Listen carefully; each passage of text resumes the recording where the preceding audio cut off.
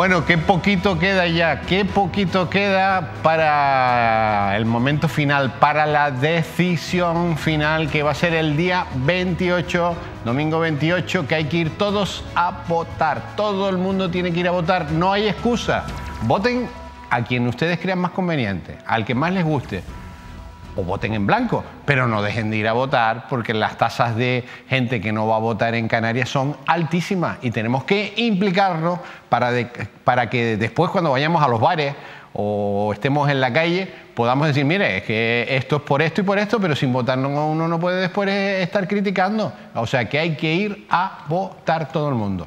Bueno, hoy vamos a hablar de una ciudad importantísima, es la decana del turismo en el archipiélago canario, es la pionera, eh, es un referente eh, turístico a nivel mundial como es el Puerto de la Cruz. Y tenemos al candidato del Partido eh, Popular al Ayuntamiento del Puerto de la Cruz, para ser el próximo alcalde, don Ángel Montañez. Gracias por venir. Muchas gracias a ustedes por invitarme. Bueno, usted es concejal ahora, ¿no? Sí, efectivamente, concejal de la oposición. De la oposición. ¿Cómo resumimos estos cuatro años, Ángel? Pues yo creo que el análisis que se puede hacer de estos cuatro años es bastante sencillo. Y digo que es bastante sencillo porque el municipio no ha progresado en prácticamente nada, todo lo contrario. Eh, si cualquiera le pregunta a un portuense qué ha pasado en el municipio, aparte de desarrollarse actos festivos, actos lúdicos, poco más puede decir. Los servicios han quedado apalancados, eh, la economía pues, no ha mejorado porque tenemos un alto nivel de paro. ¿La tasa de paro en cuánto está? Estamos aproximadamente en un 23%. ¿Usted sabe cuánto está en Santiago del Teide su compañero Emilio? Pues si no me equivoco, en Santiago del Teide está por debajo del 10%. Estaba, me parece, en el 5 como algo. Están casi en, pleno empleo. ¿eh? 7, era la última cifra que yo tengo, pero no me atrevo a decir cuál era. Pero eh, ha descendido eh, de una forma importante en este mandato el nivel de, el nivel de paro. Y bueno, en el puerto no ha sucedido eso. Aparte, Pero se han perdido por qué, empresas. ¿Por qué no sucede eso? Si, si el puerto de la Cruz es un generador económico de, de actividad. Esa es la pregunta. Como turísticamente hablando, ¿no? Es el generador del norte. Esa es la pregunta que nos hacemos, nos hacemos todos los portuenses, ¿no? Y nos hacemos esa pregunta teniendo en cuenta las circunstancias que se han dado en estos cuatro años. Eh, había una situación idílica. Teníamos 40 millones, 40 millones de euros de remanente de tesorería. No había eh, techo de gasto. Podíamos gastarnos eh, el presupuesto más el remanente de tesorería. No había un plan de ajuste, como sí lo hubo entre 2015 y 2019, además de una deuda de 40 millones de euros. Se tenía que haber actuado en acciones que fueran estructurales, que permitieran que el municipio pudiera dar una vuelta de verdad, no una vuelta a los fines de semana mientras se celebraban los eventos. Pero se ha apostado por esto segundo y tenemos una ciudad que luce la misma imagen que hace eh, ocho años, pero eh, sí se ha gastado todo el dinero que tenía para poder eh, revertir esta situación. Esto es lo que yo creo que ha sido el gran error, no invertir donde realmente era importante y permitir que la economía fuera para detrás en lugar de para, para adelante. El 20% de gente sin trabajar en el Puerto de la Cruz es muchísima gente. el 23. Y el 23, ¿eh? Es mucho, es mucho en otros países en los que están en niveles, en niveles similares, eh, aproximados, se están dando tiros. Se están dando tiros. La gente no Pero el Puerto de la Cruz está lleno de turistas. ¿Por qué, ¿Por qué esa tasa de paro tan alta? Pues menos aún se comprende. Menos aún se comprende. Desde el Partido Popular entendemos que no se ha apostado por aquello que es importante, aquello que realmente al final te va a dar una consolidación como destino turístico en mejorar nuestros servicios, en mejorar nuestras infraestructuras e intentar hacer ver a todos aquellos que quieren eh, seguir apostando por el puerto que hay que invertir en calidad, invertir en otra cosa totalmente distinta. Teníamos cuatro años de oro, veníamos de cuatro años en los que se habían hecho grandes cosas, pero este gobierno ha decidido cambiar muchísimas, entre, entre otras muchas, la de que el Consorcio de Rehabilitación Urbanística del Puerto de la Cruz dé licencias para que se rehabiliten establecimientos alojativos. Y esto pues, está teniendo estas consecuencias. Eran cuatro años importantísimos, tenemos cuatro años por delante que son muy importantes y bueno, vamos a ver qué decide la ciudadanía. ¿Cuáles son las propuestas suyas? Nuestras propuestas se reflejan en un programa. programa. Nosotros tenemos, el Partido Popular tiene programa, tiene un proyecto de ciudad que hemos reflejado en ese documento frente a, por ejemplo, el Partido Socialista, que no tiene programa electoral. Si alguien lo quiere buscar en sus redes sociales, no lo va a encontrar porque no existe solamente existe un panfleto en el que hablan de los logros, entre comillas. Eh, en nuestro programa electoral hablamos de, un futuro, hablamos de un modelo de ciudad. Lo hemos estructurado en cuatro líneas que son importantísimas. Está la línea que hemos llamado eh, la revolución urbanística del municipio, imprescindible para salir adelante. Tenemos que cambiar el municipio, tenemos que darle una vuelta a la imagen del puerto de la Cruz. La segunda, que hablamos de la recuperación económica, en la que hablamos de bajada de impuestos, en la que hablamos de fomento de la contratación a través de las empresas, en la que hablamos también de eh, motivar, de incentivar la contratación pública. Y luego también, dentro de nuestro programa, hablamos de otras líneas como puede ser la acción social, que es absolutamente necesaria, pero que queremos que se reduzca a la mínima expresión, como por ejemplo la de atender a nuestros mayores, atender a, las personas que habitan en el municipio y que tienen algún tipo de problema, algún tipo de discapacidad, algo que les impide desarrollarse normalmente. Y luego también una cuarta pata en la que hablamos de formación, formación y cultura. La formación para nosotros es imprescindible para que el municipio sea competitivo. Ese paquete de medidas, esas líneas están llenas de acciones, concretamente más de 280 acciones destinadas a cambiar el puerto de la Cruz. Cosas importantes del puerto de la Cruz, Ángel. Eh, el puerto. Eh, yo llevo escuchando el puerto del puerto de la Cruz años y años, décadas, y al final estamos en la misma posición de siempre. Estamos en la misma posición eh, ahora mismo, en 2023, porque no se ha querido. Podríamos haber avanzado muchísimo. En el año 2017... Eh, es fundamental ese puerto. y ese puerto tener un atraque para meter... Si hubiera un, atraque para meter un crucero, es que los cruceros no iban a Santa Cruz, iban al puerto de la Cruz. Simplemente con, con conseguir que la fase de tierra ya se desarrolle, ya sería eh, una cosa muy importante para el municipio. Conseguiríamos una nueva zona, un nuevo espacio para vender Puerto de la Cruz. Pero también es verdad que tenemos que desarrollar la zona de mar para que también sea un atractivo. En 2017, como dije, todos los partidos políticos, todos, Partido Popular, Coalición Canaria, Partido Socialista, apostamos por ir hacia un modelo. ¿Y cuál es el modelo? Ese modelo era un puerto que se desarrollara en una sola fase en el que se incluyera la fase de tierra y la fase de mar y que permitiera traer eh, barcos de un determinado calado.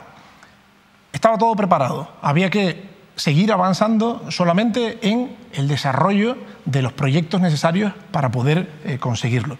Y por otro lado también conseguir eh, la evaluación ambiental, que dijera que ese espacio tal y como se estaba ordenando era viable. A día de hoy nosotros, desde el año 2019, no hemos escuchado nada ni al presidente del Cabildo de Tenerife ni al alcalde. No han hablado del puerto para absolutamente nada. Esto ¿Ustedes han preguntado? Mucho, mucho. Hemos preguntado, hemos solicitado información y nos hablan de que todavía están pendientes de la declaración de impacto ambiental, de la ordenación del espacio y que por eso no han hecho absolutamente nada más sabíamos todos que hay que ir haciendo muchas cosas complementariamente a lo que eh, estamos hablando, a un puerto de ese calado. Teníamos que ir ordenando las vías de acceso, teníamos que haber ido ordenando el entorno, pero aquí no se ha hecho absolutamente nada, Miguel Ángel. No cree el Partido Socialista en este puerto, pero no cree el Partido Socialista en el puerto de la Cruz. Y el alcalde, nuestro alcalde, el alcalde de todos los portuenses, el que dice que defiende los intereses de todos los portuenses, lo que ha hecho es eh, seguir las consignas de su jefe el presidente del Cabildo Insular de Tenerife, que para él lo que es el centro de deportes acuáticos que conseguimos era algo caro para el municipio del Puerto de la Cruz. Cuando hablamos del Parque San Francisco, dice que es algo faraónico para el municipio del Puerto de la Cruz y ahora hay que inventarse otra cosa nueva. Cuando hablamos de invertir en cualquier cosa en el Puerto de la Cruz, bueno, ya veremos cuando hay que hacer una obra para que las entradas al municipio y el recorrido por el mismo sean las que merece el municipio pues bueno, eso no toca ahora. Bueno, estas cosas son las que a los portugueses nos enfadan. Eh, dejar al municipio eh, eh, como un municipio, o tratar al municipio como un municipio de segunda. Y lo más que nos enfada a los portugueses es que el alcalde encima haya sido cómplice de todo esto. Todo el dinero se ha ido para el sur, ¿eh? Todas las inversiones importantes eh, el presidente del Cabildo es del sur y se ha notado, se ha notado. Pero el norte se ha quedado ahí rezagado y evidentemente el Puerto de la Cruz. Desafortunadamente, frente a lo que sucedió durante 2015-2019, que el Cabildo puso el foco en el Puerto de la Cruz porque identificó que nosotros somos un municipio importante para la isla. Somos un municipio que mueve toda la economía del norte y que aportamos mucho al Producto Interior Bruto. Le duela a quien le duela, el municipio del Puerto de la Cruz tiene una actividad que no tiene el resto del municipio del norte. En ese entonces se identificó que en el puerto se tenía que desarrollar la actividad para crear empleo en todo el norte de la isla. Y se apostó por determinados proyectos, como dije antes, Oye, se construyó esa estación de guaguas que llevábamos 10 años sin desarrollar. Mm. Se apostó porque se desarrollara el centro de deportes acuáticos. Se apostó porque se desarrollara también la playa de Martianes y la secuestró el Partido Socialista en el Estado, no firmando el convenio correspondiente. Se invirtió en mejorar los espacios públicos, eh, hablo de lo que todo el mundo ha visto, que es desde San Telmo hasta la Plaza del Charco, mejorar toda esa vía haciendo algo que fue muy importante y que le dio una vuelta a ese espacio, más todas las transversales. Ha llegado el Partido Socialista y se ha paralizado absolutamente todo. Todo. Y como bien dices, Miguel Ángel, no hemos visto lo mismo en el sur de la isla. En el sur de la isla ha habido una apuesta decidida por el cambio de los espacios públicos. Es injusto, sumamente injusto. Y por eso yo me presento en el Partido Popular con mi proyecto, con ese proyecto de cambio, ese proyecto que habla de revolución urbanística y además un proyecto en el que creo que van a creer aquellos que tengan que gestionar otras administraciones, que espero que sean López Afonso en el Cabildo y Manolo Domínguez en el Gobierno de Canarias. ¿Las banderas azules? ¿Qué han pasado con las banderas azules de las playas del Puerto de la Cruz? Pues lo mismo que ha pasado con todo. Se ha perdido. Se pierde la calidad, se pierde la bandera azul. Algo que sabíamos que podía pasar, porque teníamos graves problemas por vertidos al mar, ha sucedido. Eh, nada más llegar al Partido Socialista se pierden las banderas azules de nuestras playas. Pero es que cuatro años después no se han recuperado las mismas no hay un nuevo contrato de gestión del de, eh, tratamiento del agua, el saneamiento. Por tanto, cada vez se conectan más vecinos, cada vez se carga más la red, cada vez va más agua al, al mar. Y esto, pues evidentemente, hace que se tengan que cerrar las playas. Este es el motivo fundamental por el que no tenemos bandera azul. Si a eso le suma que tampoco se ha apostado por parte del Partido Socialista por mejorar los servicios de las playas, pues peor lo teníamos. Nosotros teníamos claro que teníamos que ir no hacia las banderas azules, sino hacia algo mejor todavía, que era una ISO específica para la gestión de playas. Evidentemente, las banderas azules están muy bien, son un distintivo de calidad, pero había que ir un poquito más allá. Y empezamos a trabajar con eso. Y lo pusimos sobre la mesa del Partido Socialista cuando entró el gobierno. Esta, esta es la hoja de ruta para conseguirlo. Hay que ser valiente.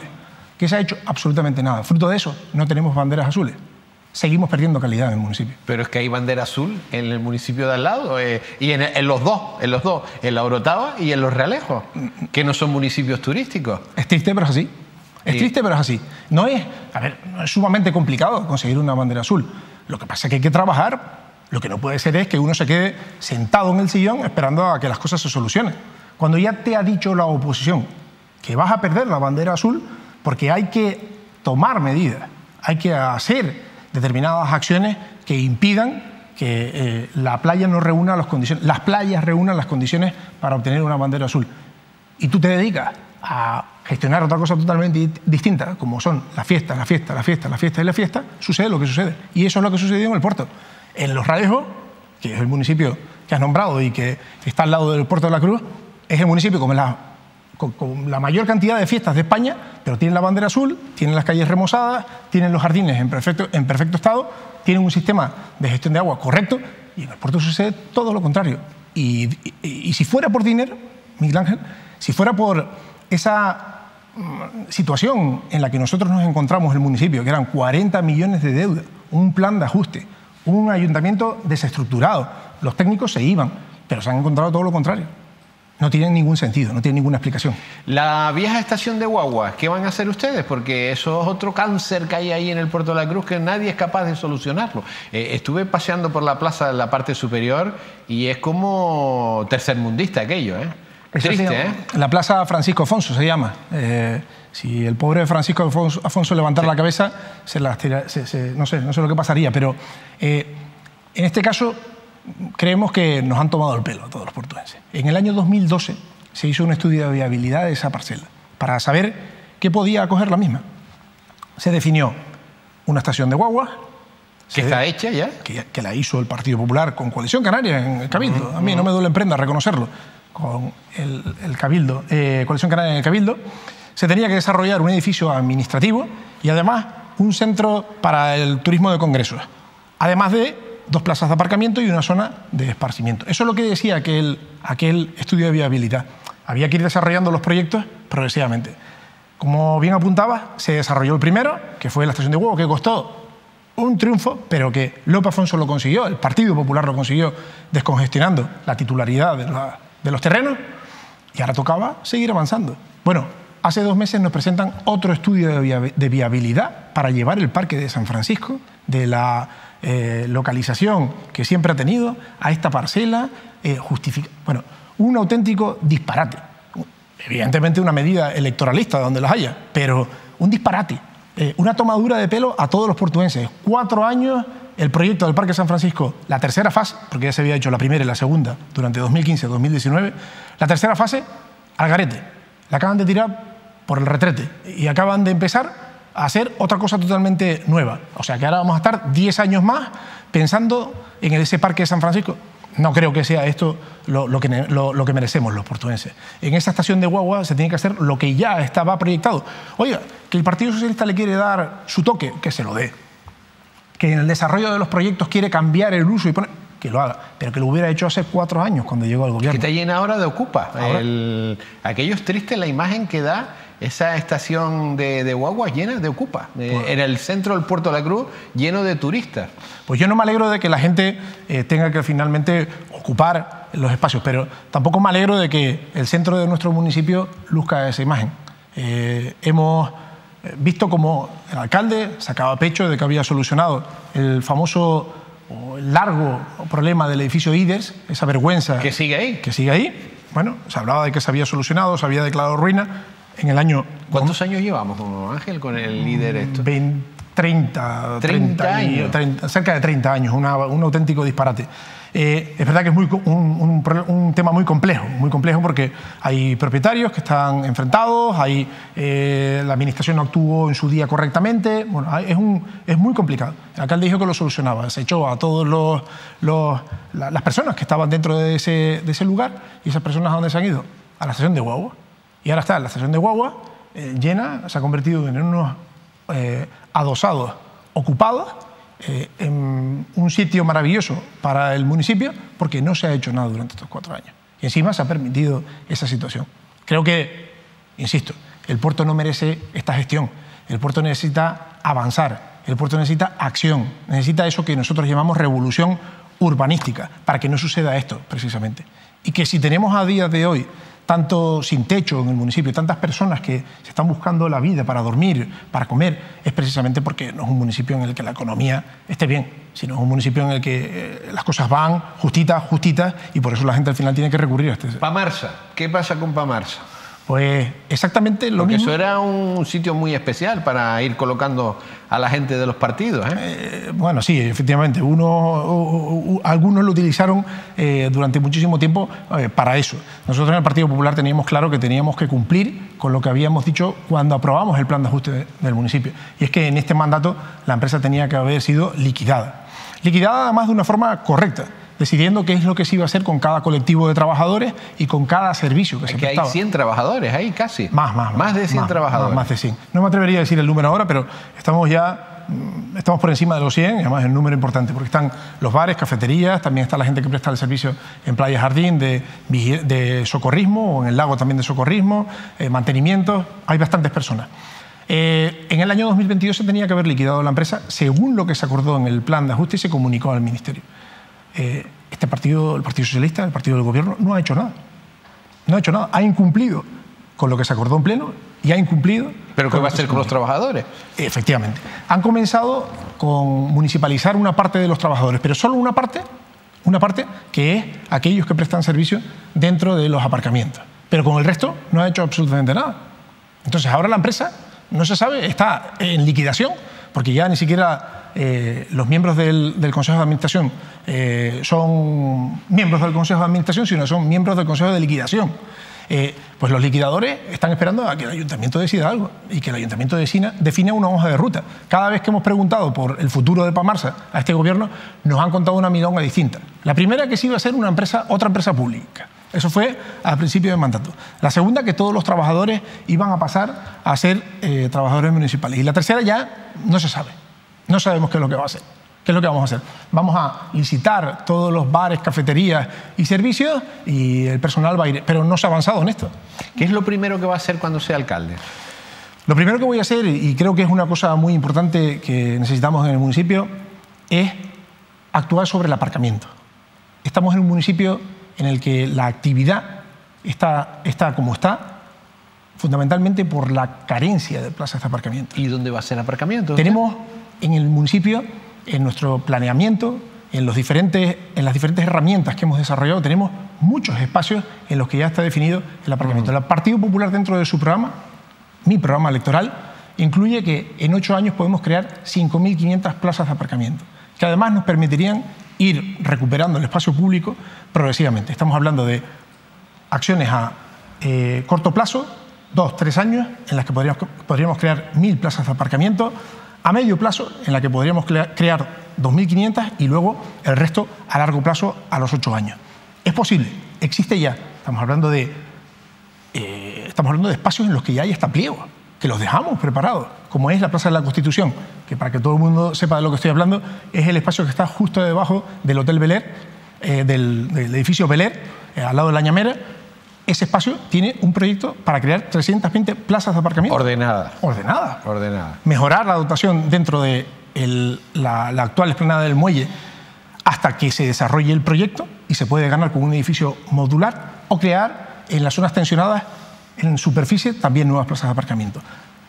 A largo plazo, actuar sobre la estación de Guagua, actuar sobre otros espacios como podría ser en Punta Brava, en el antiguo Hogar Santa Rita, y a largo plazo, por supuesto, crear esa gran bolsa Eso primero, eh, aparcamiento. Eh, aparcamiento. Segundo. Pero importantísimo también sacar a licitación los contratos que están vencidos en el municipio. Hay mucho. Todos. Todos. Menos los dos que sacó el Partido Popular, que fueron la jardinería y el alumbrado público.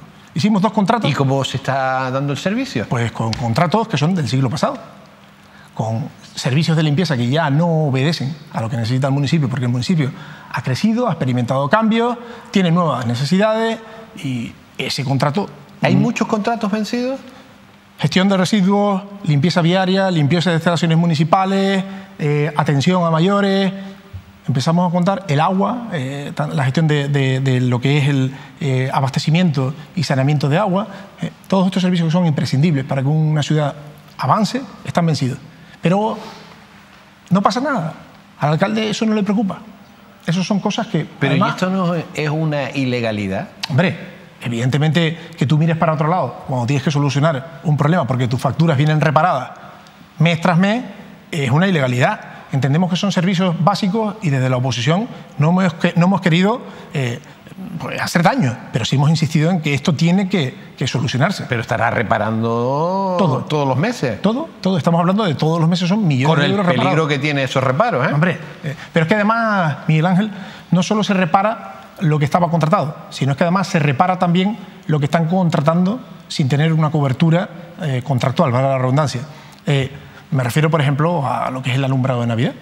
Tuvimos en el puerto un alumbrado de Navidad del que alcalde sacó pecho, que nos habíamos convertido en el nuevo, en el nuevo Vigo, eh, que teníamos un municipio que era em, la calle Betis, pero cuando solicitamos la cobertura de ese gasto, estamos hablando de un cuarto de un millón de euros, no hay contrato. No entra dentro del contrato de la empresa de servicio energético. Y nos lo informan tan alegremente. Mire que no cabe. Esto creo que no es lógico dentro de un municipio. No hemos licitado para alumbrar el municipio, gastarnos un cuarto de millón de euros y no sabemos si nos hemos gastado el dinero, si nos hemos gastado el dinero correctamente o incorrectamente. Esto sucede día tras día en el municipio. Esto, este, este gobierno ha despilfarrado, ha malgastado el dinero de los portugueses. Y como me preguntabas inicialmente, si le preguntas a un portugués qué ha sucedido en el municipio desde el año 2019 hasta mayo de 2023, posiblemente te diga lo que lo que yo te he dicho, nada no ha ocurrido nada más que fiesta. Bueno, eh, tercera cosa que estamos hablando, aparcamiento, regularizar todos los contratos que están vencidos. Tercera cosa que hará cuando sea alcalde. Tercera o en paralelo. O en paralelo, sí. En paralelo es impulsar los grandes proyectos que están parados en el municipio. ¿Qué son? Estamos hablando de Playa Martianes. Playa Martianes, que está ahí, ¿cómo está? Estamos hablando de el puerto. El puerto. Vamos a impulsarlo, creo, creo que se tiene que desarrollar. Yo no soy de los es que... Es fundamental, es un mecanismo económico de la ciudad. Mira, en otro lado, efectivamente, el Parque de San Francisco, en su ubicación ¿Dónde se va a hacer? En, su ¿En el mismo? En la misma. ¿Y, de ¿Y qué pasa con ese parque? Lleva parado años también. Pues, ahora, por último, aparece un informe que dice que si se ejecuta el, el Parque de San Francisco eh, con el proyecto que a día de hoy hay sobre la mesa, correría peligro el BIC que está al lado, que es la, la iglesia. Pero si siempre estuvo ahí. Bueno, pero yo creo que cualquiera que nos esté escuchando y que haya ejecutado una obra en un lugar dentro de una trama urbana sabe que cualquier edificio que está al lado de una edificación corre peligro. Habrá que tomar las medidas oportunas para hacerlo. Pero se toman. Claro, ahí- se toman. A mí, sinceramente, Miguel Ángel, creo que nos han intentado tomar el pelo con este asunto. Es el único municipio, yo creo, de Canarias que no tiene un auditorio. ¿eh? No, no. El único. No, no, no, y el, el que no tiene un auditorio para hacer nada. ¿eh? Y lo teníamos, y a- hoy, hoy eh, teníamos que haber contado con un audi- un auditorio en el puerto y en ese lugar.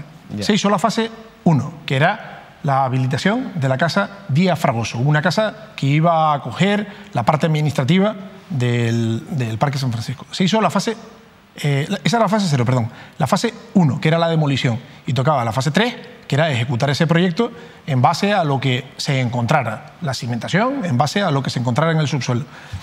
Cuando llega la tercera fase, alguien dice, no, no, es que, mm, que se inviertan 17 millones en el puerto es, es muy caro en un auditorio. Oiga, pero si no lo dije yo, lo dijo el Cabildo.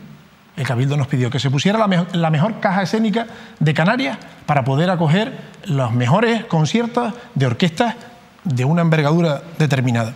Nos dijeron que teníamos que quitar la última planta porque nos pasábamos en volumetría. Nos dijeron que teníamos que retranquearlo porque eh, eso lo adaptó todo el, el municipio. Y cuando tenemos el proyecto determinado, alguien viene y dice, no, no, es que eh, es muy caro primero. Y luego, el BIC corre peligro. No me tomen el pelo. Si en el Louvre se construyó una pirámide en el centro, ¿cómo no me van a decir que en el Puerto de la Cruz no se puede levantar un edificio de calidad? Porque yo no quiero para mi municipio porquería, ya está bien. Ya está bien de que nos hagan chapucerías en el municipio. Ángel, más cosas que tiene que hacer, que se nos va el tiempo. Pero el Parque San Francisco era el puerto, el Parque San Francisco, El la estación de Guagua. El desarrollo de la, de la, de la estación de guaguas en el que Sí, nosotros sí. haríamos lo que estábamos- La vieja estación de lo que Guaguas que hay que, que hacer algo allí. Y, y luego, y luego una cosa muy importante, ya no solo hablamos de ejecuciones de obras, que hay muchísimas obras y que la- cualquiera que, que quiera saber cómo lo desarrollaríamos puede ver eh, nuestro programa en la página. Insisto, nosotros tenemos programa, otros no tienen nada. Eh, yo creo que también es muy importante desarrollar un plan de recuperación económica. Ese plan que decía antes, bajar impuestos en el municipio. Tenemos un recorrido importante. Podemos devolverle a los empresarios de nuestro municipio parte de lo que habitualmente están eh, pagando. Eh, creemos siempre en el Partido Popular que ¿Y qué se bajaría? ¿Qué impuestos? se puede bajar el IBI, se puede bajar el ICIO, se puede bajar el impuesto a actividades económicas, pero también se pueden bajar las tasas. Se puede bajar, se puede eh, revisar eh, el sistema de tasas del municipio y podemos darle un cambio y que no sea solamente el empresario el que se cargue con los costes de los servicios, porque es así, es una realidad. Y si el empresario se carga, se carga con los costes de los servicios y no puede afrontar el día a día, no va a contratar a nuestros vecinos. Y yo no quiero eso. Yo quiero que se abran muchas empresas en el municipio y muchas empresas de calidad. Y para eso tenemos que convertirla eh, en algo atractivo desde el punto de vista fiscal. Plan turístico, eh, ¿lo hay? ¿Hay una idea de hacia dónde se va turísticamente? Ah, Porque no. el Puerto de la Cruz en los últimos años lo que ha hecho es perder turistas. Exacto. Estamos por debajo del millón, hay cuatro millones y pico ya en el sur de la isla. ¿eh? El plan, eh, el plan de, de- de este gobierno es el no plan. No, hay plan, no hay plan. Cada vez que hemos hablado de eh, la estrategia, hemos hablado del plan de marketing, hemos hablado de- de ese diseño de lo que es el futuro del municipio desde el punto de vista turístico, se ha tirado balones fuera. Y lo que se ha hecho es improvisar. Nos hemos ido a Fitur a vender cosas que no se saben ni lo que es, ni a quién iban destinados, ni qué se esperaba de lo que estábamos vendiendo. Hemos hecho en algunas, en algunas acciones promocionales eh, el tolete, perdón por la expresión, porque Bien dicho está, el hemos, tolete. hemos llevado El cosas que, no, que nadie ha comprendido. Vídeos en los que se ponía lo mismo que podía ver cualquier turista en Berlín. Es que no hemos hablado de, de nuestro municipio como tenemos que hablar. De la idiosincrasia del pueblo del, de portuense. ¿no? Exacto. Desde el Partido Popular creemos que tenemos que tener una estrategia bien clara. ¿Por y qué esa no la hay? estrategia, ¿por qué no la ha dado la gana a alguien? Porque creen que son más importantes o saben más que aquellos que realmente trabajan en el mundo turístico y así han interpretado que tienen que hacerlo con sus ideas, con su gente y de aquella manera. Nosotros en el Partido Popular apostamos porque la estrategia la desarrollamos conjuntamente con los empresarios del municipio con un Consejo Sectorial de Turismo fuerte, en el que estén representados aquellos que hacen turismo en el municipio y que saben hacia dónde tenemos que ir, y que además sea vinculante. no una tomadura de pelo, no que te llamen una semana antes para decirte qué vamos a presentar en Fitur, como ha sucedido y yo he estado presente. Una semana antes de Fitur, llamarte para, qué, para saber qué vamos a hacer en Fitur, cómo vamos a vender el puerto de la Cruz. Tenemos que tener esa estrategia que tiene que salir de ese Consejo Sectorial de Turismo en el que están representados los que hacen turismo en el municipio y del, y del que emane un plan de marketing. Un plan de marketing teniendo en cuenta cómo se vende ahora el turismo. A través de redes sociales, utilizando la Big Data, gestionándolo a través de los profesionales que ya no son los que lo hacían hace 20 años y son otros totalmente distintos. Así es como queremos sacar adelante el municipio. Tiene un minuto eh, para usted eh, decir lo que quiera. Bueno, Aprovechelo. Yo creo que me tengo que dirigir a los portugueses diciéndoles que en las próximas elecciones Esa no es su cámara, vamos- su cámara- Bueno, pues, a la cámara. A la cámara, a los portugueses. A los portugueses. Yo creo que tengo que decirles que en, esta- en estas elecciones no nos jugamos cualquier cosa. Estos cuatro años son cruciales. Nos jugamos sumirnos en una crisis como la que hemos vivido cada vez que ha gobernado el Partido Socialista o salir adelante. En definitiva, nos jugamos o el solo fiestas o el futuro. Y el Partido Popular lo que asegura es futuro para todos y cada uno de los portugueses. Ángel, todos los éxitos de- del mundo. Que tenga mucha suerte. Muchas gracias. Bueno, nos vamos, nosotros nos vamos. Eh, Ángel Montañez, candidato del Partido Popular al Ayuntamiento del Puerto de la Cruz. Toda la suerte del mundo. Muchísimas gracias.